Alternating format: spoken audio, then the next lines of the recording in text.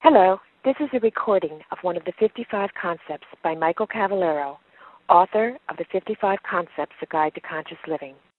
These concepts, when used, are powerful tools to change your life and clear what stands in the way of having the life you want.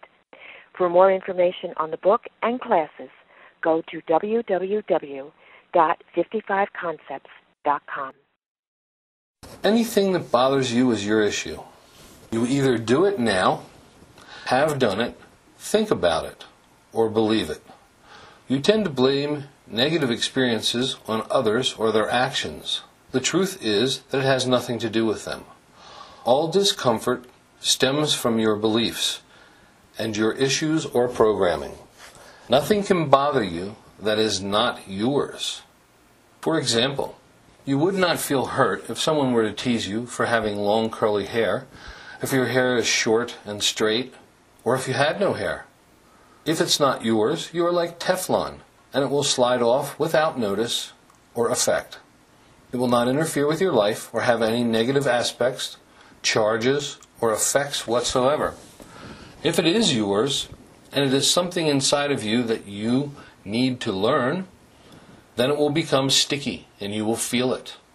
It will stick to you quite easily and sometimes very subtly. You will be affected with some opinion or judgment about what is occurring.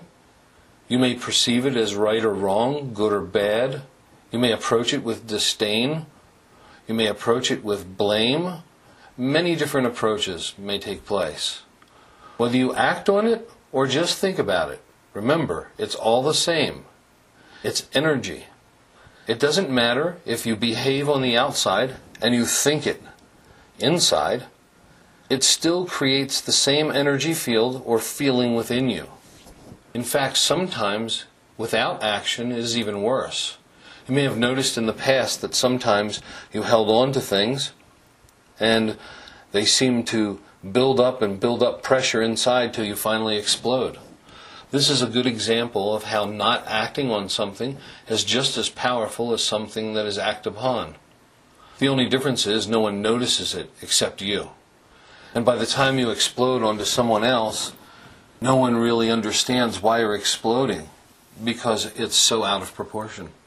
Oftentimes, people will think that they have not behaved badly or reacted and it hasn't bothered them.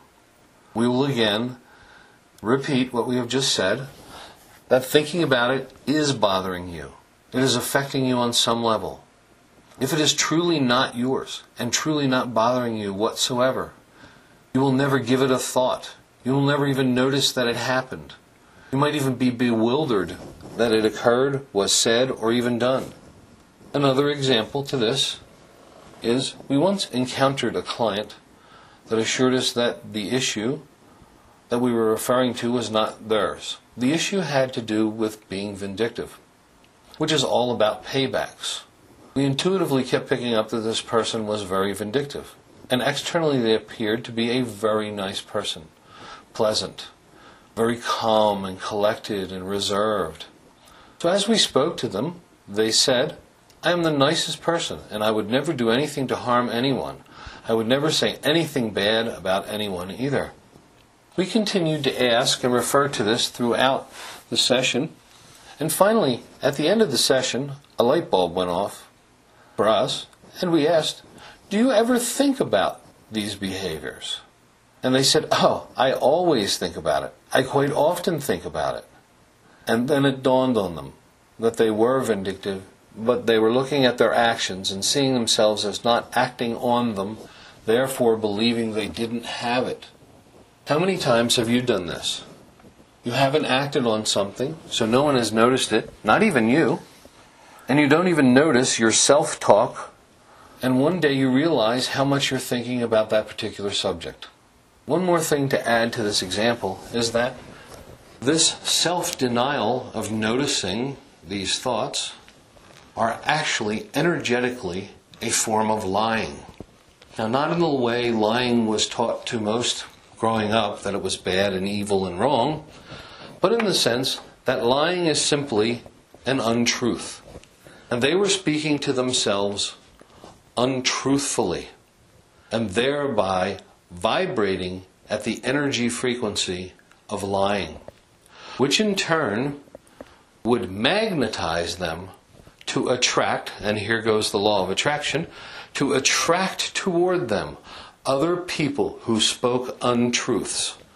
Whether they spoke untruths to themselves or to others, they would be attracting people who would tell lies or untruths.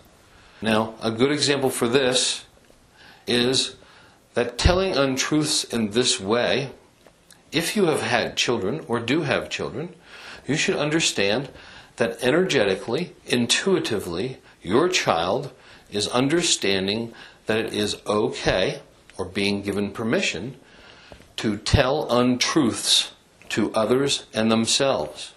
Quite often, parents are surprised that their children lie or lie at all because they don't ever speak lies. But they think and feel the untruths or lies to themselves, and this energy is passed on to the children.